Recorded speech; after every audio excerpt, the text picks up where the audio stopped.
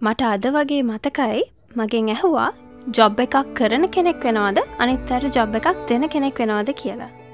අද කාලෙ මං වගේ කෙනෙක්ට තනියම ඕව කරන්න පුළුවන්ද කියලා කිව්වම මට කිව්වා හැකියාවට හරි හම්බ කිරීමේ සතුටට ගෑනු පිරිමි බේදයක් නෑනි කියලා. NDB බැංකෝ කියන්නේ මට අලුත් බලාපොරොත්තුවක් වගේ. හතලිස් වසරකුත් හෙටටත් ඔබට සවිය දෙමින් මඟපාදන NDB බැංකුව.